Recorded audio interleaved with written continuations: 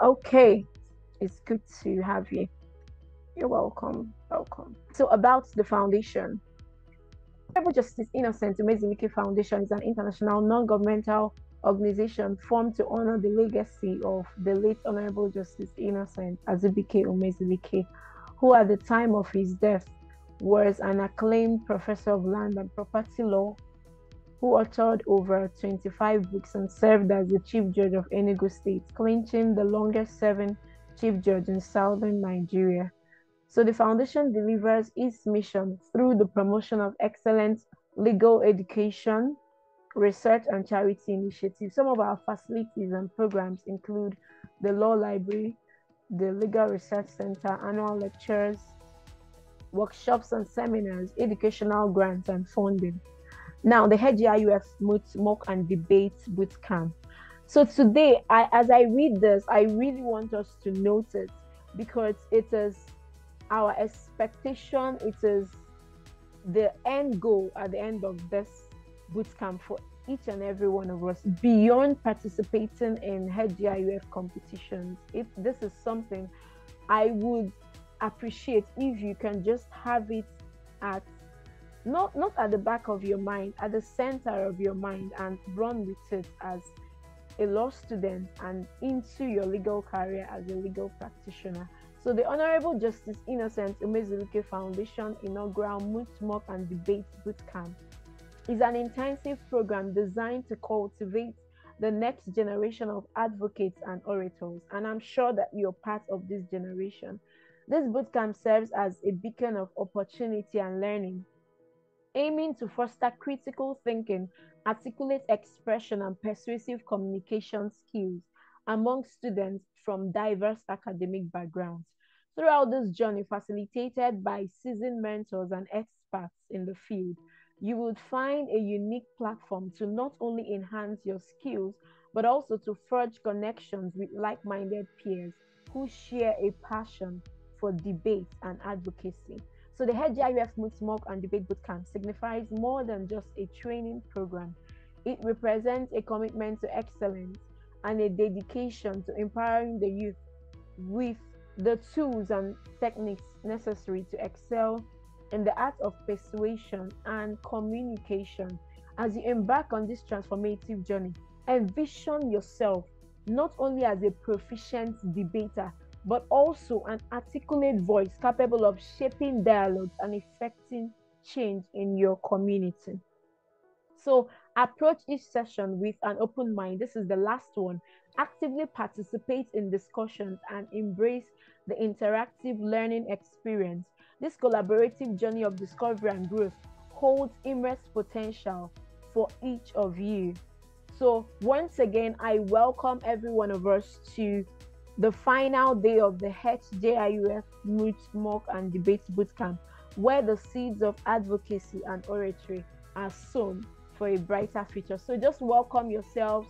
You are special. It's so good to have you here and you're in, you've been in for a very insightful learning experience. Welcome yourself. It's not easy to invest in yourself by being a part of this training.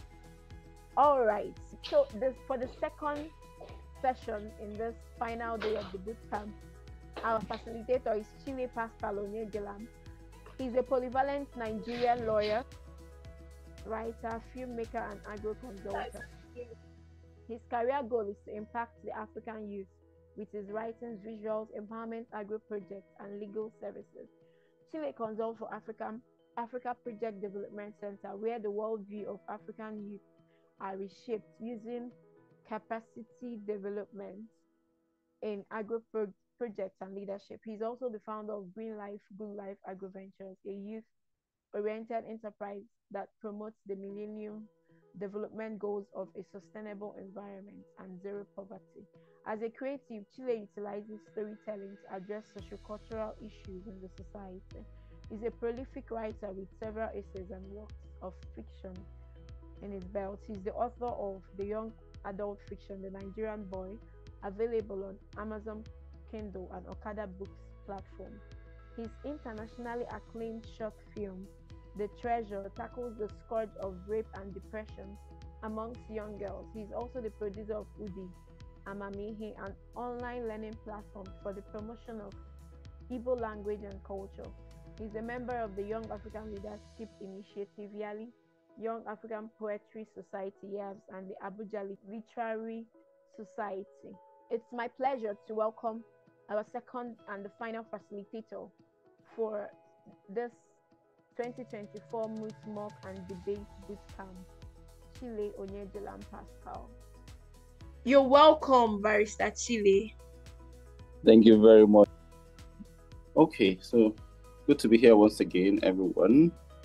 Uh, quickly, quickly, I'm sure, I'm sure we all have an idea as to the subject matter, which is um, ethics in debates but I, I, would want this to be very conversational. Uh, initially, it was going to be uh, much um, like a talk, but I would want it to be very conversational so we can speed up as well. And I would also want to know whether we, everyone here, has an idea as to what ethics is all about. So feel free, just two or three persons quickly, within 10, 10 seconds each, you can just go in any particular fashion and say what you think ethics mean and what does it mean to say you should have ethics in debate? What is your understanding of it? Then we know whether we have an idea what we are doing. So quickly, anyone randomly, just it could be Feyo Toluwa, it could be Abraham, it could be Fatima, it could be anyone. Cyril. You conduct yourself, sir. All right.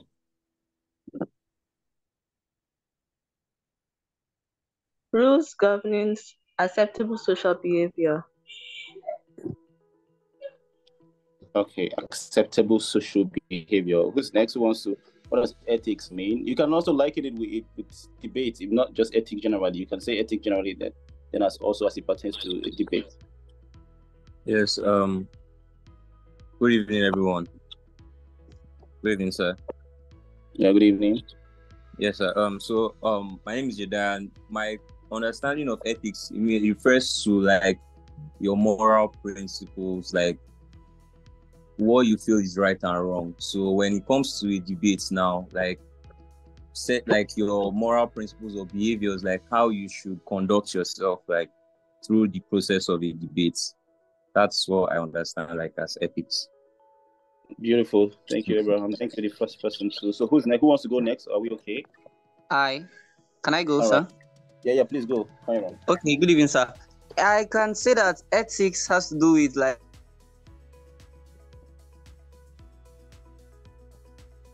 particular program or a structure. All right. Beautiful. There's some there's some uh, comments.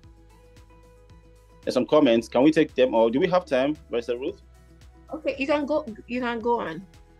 Yeah, yeah, yeah. So I, I, we acknowledge. I think they all have an idea. These are all very beautiful explanations, and, and I'm happy it's all coming out from you guys' thoughts, not just random definition. So it, you, you are all very correct. But most importantly, you know, when we are checking the meaning of the word, especially a word that has um, different origin from the the language that it is now, we have to check the etymology where it is derived. So ethics um, is a Greek word for ethos. I know we know what that means. That's simply character. So I think it also has roots with Latin for morals, that's customs. So you can see that is in line with what you guys have described. So, in the layman term, ethics is simply how individuals should interact with one another in a very right way. So, what you have to do well. Now, as you're relating it to a debate, we know debate can get very feisty. You know, as much as we are human beings, you know, you're trained to be diplomatic and all, you want to win an argument because you think you have this point in your head and you you're wondering why is this guy's you know, cognitive abilities not able to grasp what you're saying. You really want to push it down his throat, as if that was how we are all taught in school, as if the teachers were not patient with us, you know. So we, we and you know, debate also has um, a timeline. So you you want, man, within these two minutes, you have to understand. Oh, the judges seem to be confused. How can they understand what I'm saying? This is purely human. You know, this is purely human. So what ethics is telling us is there should be rules just like how you play football or play any other game, there should be rules. So as much as you are passionate, you want to get your points across, you want to win, you have to say the right things or you have to do it the right way. so you don't end up even damaging everything. So the wise the wise people will say that it is intelligence to also watch your audience and see how they are reacting to what you're giving out.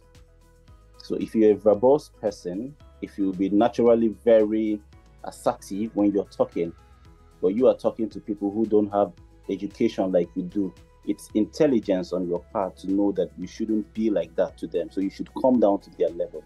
So this is all ethics. So it is very important, especially in a competitive debate. So now you know you want to win. And it is human beings who are going to judge you. Remember, human beings are biased.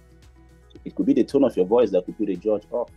I'm telling you honestly, if it is written written script and someone is reading, it could even be the language it could have been it could be the distractions in your thought process. Like, what is this person saying?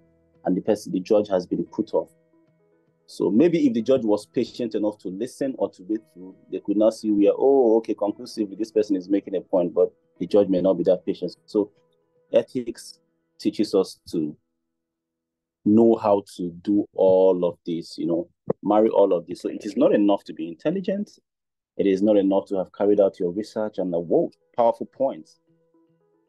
It is also important the way you pass it across. So those little details. Now coming down to the debate competition of this foundation, I'm sure you guys already know the criteria for which debaters are being judged.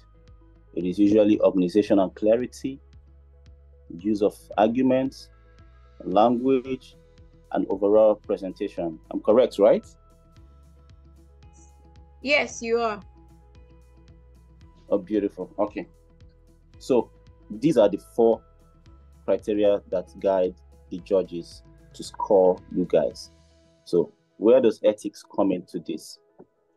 Remember what we said, those little details you have to get right to make all those sweet points of yours that you've researched to come alive. You know, so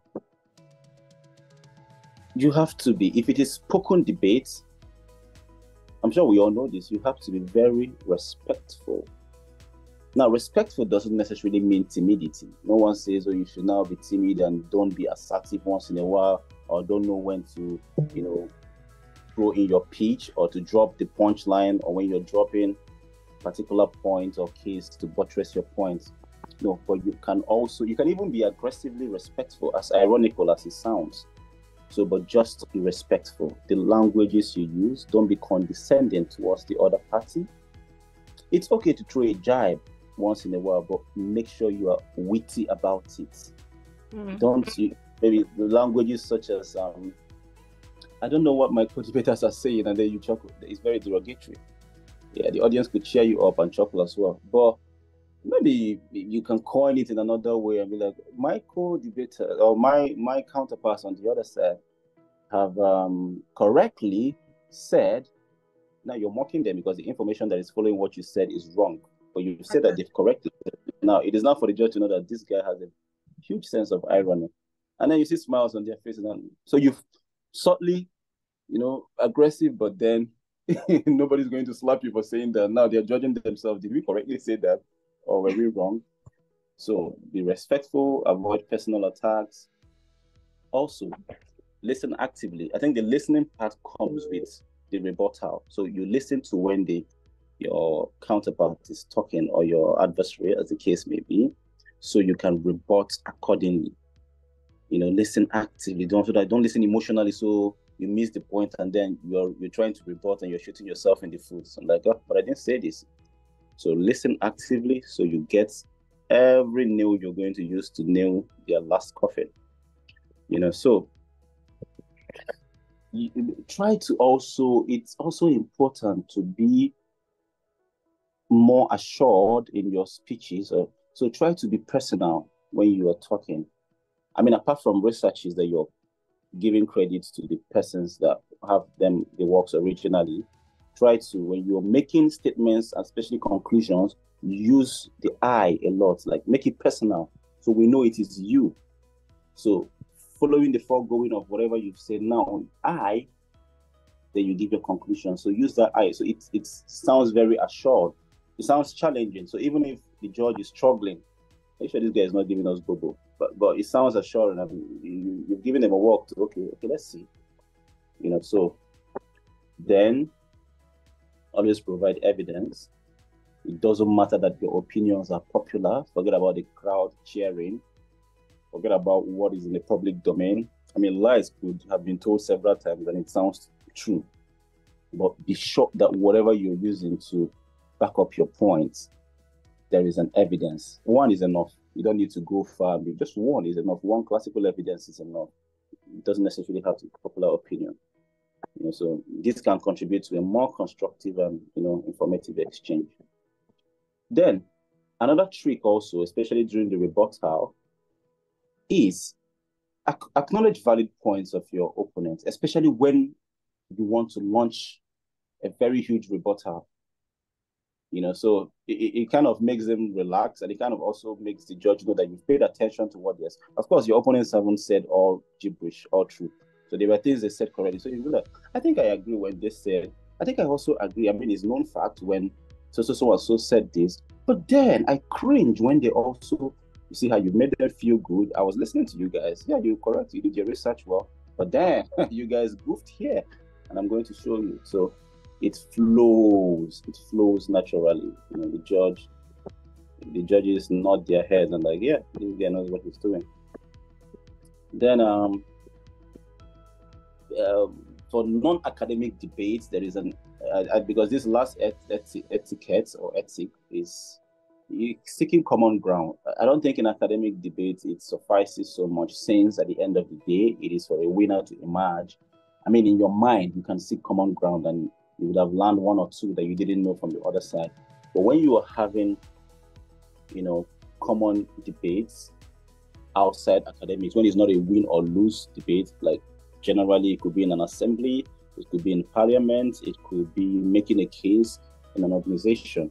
Always find a common ground. So it's okay for B to disagree with you strongly initially, but make sure at the end of that argument and debate, your the, the, opinions of the both of you are not as strong as it started. You mustn't necessarily shake hands and say, "Oh yeah, you know," but make sure it is not as strong. So in that way, it shows. I think I see where he's coming from, but mm, I disagree. It's okay to disagree, but make sure you there's a comment. Oh, I understand. Ah, okay, okay, okay, okay. Because this, this well, I see where you're coming from, but mm, I disagree. So then don't um for uh, the trick. I don't know if you guys have watched this movie, uh, The Debaters. Very uh, foundational mm. movie for debate and all. You hmm. remember what the, the, the, the lecturer, the professor would say to them? You don't necessarily argue to win. And they thought it was an irony. But you're pushing us beyond our limits to win. You want the school to. But yeah, but don't have it at the back of your mind because it consumes you know, passion consumes. When you're a beast of your passion, I want to. Wonderful. It's, it's a wonderful drive for you to, you know, excel, but could also become your Achilles heel. So mm, tame, tame your emotions in that way. I want to win. I've researched enough. I think I've gotten my point. I think I know when to launch this, but also have it at the back of my mind that, hey, somehow I'm going to have fun. I'm going to put out to the world that this is what I have. I'm going to convince the world that I'm made of stuff. Yeah, so these are these are better diplomatic um, silver linings for you to hold on to. But then at the back of your mind, you're hoping to win. But the point is, don't just let that be cloud. You know. And then for whatever reason, the last one, keep your always keep your bias in check. Always keep your bias in check. So it could be the topic you're arguing for or against. You already have a preconceived notion about it. No, keep it in check. Don't necessarily it doesn't necessarily have to reflect your honest belief. Because at this point you are researching academically to try to prove this point to show that hey, this may not be the popular opinion, but I'm going to present this in such a way that uh, these people would understand that, oh, how come we didn't give this a thought all this while? So keep your bias in check then when your your uh, your counterpart on the other side is also trying you, you seem like they're making so much points or they're saying things you don't agree in in reporting don't let the emotions get it just keep the bias in check and attack the points attack the points in a very witty manner So, in these few points of mine, hope I've been able to convince and not confuse you. Oh, Barrister Ruth, you're smiling. I was not so worried about your how you would handle um the the unfortunate incident that happened before you came in. I know that you would still we've always been that way, being able to communicate your thoughts well. And I know that I'm not the only one that agrees. Okay, I'm I'm already seeing the comments. Yes, thank you. Thank you for those. You just you were just dropping them bombshell. Like thank you. Thank you so much. Thank you so much. So questions, if you have any, there was really something that he said that's employing sarcasm. I think he was he was practical. He gave practical examples of of how you can, you know, there there is this thing that you said that it's a very very um a very uh, subtle very is a is a is a very good technique. Yes, your time management was peak. Yes, you really that's you really managed your time very well. Thank you so much. Thank you so much. So questions, questions. That that you said about, you know, yes, I agree with this. But then that but you know, eh, that's that thing takes a very brilliant person to pull that off. I know you are yaps, yeah. and I know you did a lot of that. It's, it's the kind of thing you would do if you if you were debating with someone. So you you're just going to be careful about the point you're arguing with, so not so that you don't dash your opponent so much points, and then as in make your the, the, the person is getting comfortable, you now pull in the net. Exactly. As in the person will be looking for his feet. You know? Mm. That by the time you're done with pieces um, whatever the person presented, and probably that's like the person's strong point. You know, in every debate, there's something that it's your opponent's that is a major point that the judges actually note. There, there, exactly. there, there are points that top the charts amongst all other things. So that's the one that you're targeting at making a mincemeat, a, a mincemeat of. Yeah, thank you for pointing that out. I just hope someone smart took note of that and plans to engage it brilliantly in the upcoming competition or any other one beyond HJIUF. So any yeah. question? Any question? Or feedback? Yeah, I'm seeing their feedback. Fatima, Cyril, Joshua, know, Jedediah, Peyi, John, all of them, Lua, I can see there. So I think they, yeah. Okay. Maybe, yeah. I think, uh, so if that is, if you guys really understood everything, like I've said, then let's get to work you know let it reflect in what you're doing next time so and trust me if i personally see any of this um uh, this knowledge in the in your future work i'm going to really be biased towards that person for the person Marissa Ruth knows me. I'm I'm very easy to be impressed. I'm not like the hey, nobody has gotten an A in my this. Nah, nah, nah. He's a very Just, generous judge. yeah. Once you impress him anyway, let me just give you a little tip about him in advance. but he, you have to impress him. But once you do, he would give it to you. I have different yeah. types of judges. I have in every of my panel.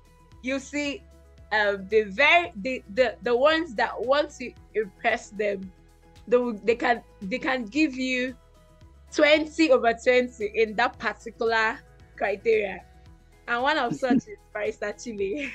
you see those that um, when you impress them well, they will give you, but not everything. They just give you maybe maybe you did very, very well. They just give you 15.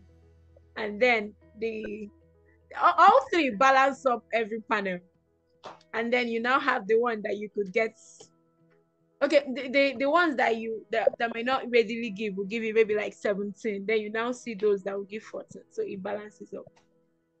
Uh, yeah. But it's Okay. a roof. I, um, I think Joshua has a, a new job for me. He said I should be a lecturer. in, uh, all right. What- What is my appointment letter coming in, Joshua? all right. Thank you. Thanks for the nice words. Uh, All right. So any further feedback before we cut we'll draw the curtain this boot camp. Okay, he's saying very soon.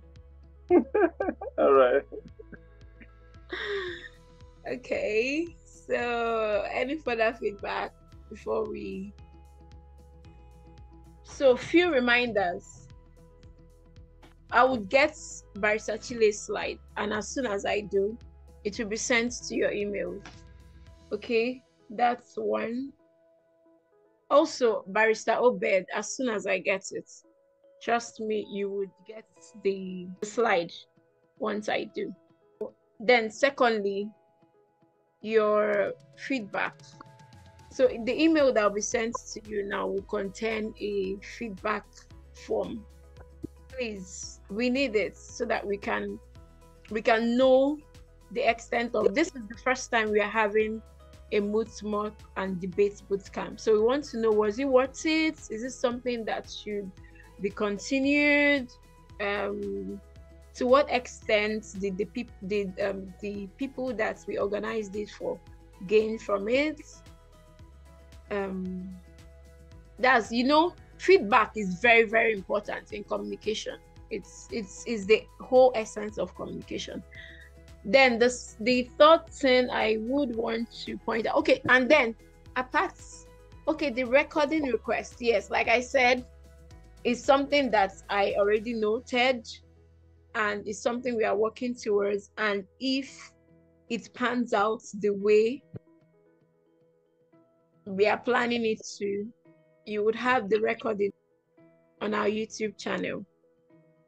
Okay so that's that's I, then like i said the for your elimination round for those that submitted entry to the elimination round is presently being evaluated by the judges. And like i said earlier in all the competitions no HJIUF personnel evaluates any round. So because we want to be as unbiased as possible. So like now that I'm seeing some faces, some people that have contributed, I'm already there. There are times where, as as um, an organizer, just like um, Mrs. Joy talked about, as an organizer of Leap Africa's competition, as a team, there are certain teams that really impress you, and you're already having favorites. To see why we are not part of the judges. So there are certain students that over time, I'm I'm I'm I'm also someone that I'm impressed easily. Yeah. So there are people that make an impression of me. So seeing them in the competition, if I'm to be a judge, it may not be so good for other persons that I'm still getting to know. So the elimination round entries are currently being evaluated, and mid match, you should know the quarterfinalists. And before the day before 21st and 22nd of March, the quarterfinalists, you have a WhatsApp group and other information will be communicated to you. So I can see some networking going on here. That's fine. That's fine. That's fine. So you can keep that up. And then, like I, I also encourage you can have video feedbacks. You can do a one minute video, a shout out to um, a facilitator or facilitators or um, that's appreciating something something profound you you you learn from any of the sessions. It is going to be very very much appreciated. So thank you once again to our wonderful facilitator. Thank you chile for sparing your time to be a part of this session. I, I don't take you for granted. Thank you so much. Chilee has been a friend that I, I, I call on. He has really been a good partner with the foundation in our programs and I don't take it for granted. I appreciate you so much. Kudos. I appreciate you. Thank you for your time today. Thank you. Thank you so much. Thank you. All right, we'll draw the curtain to the 2024 Moot Mock and Debate Bootcamp. So see you all in subsequent competition. Someone asked when is the Moot competition? So the Moot competition should be around July. Just like last year. I think last year's one was around July, August. So this year would probably take that. All right. Thank you once again. Have a good evening, everyone. Thank you, Barrister Chilee. Thank you. Thank you. Thank you, Barrister Ruth, for all the nice works you're doing. God bless you. Keep it up. And thank you, the rest of the facilitators and participants. Good luck.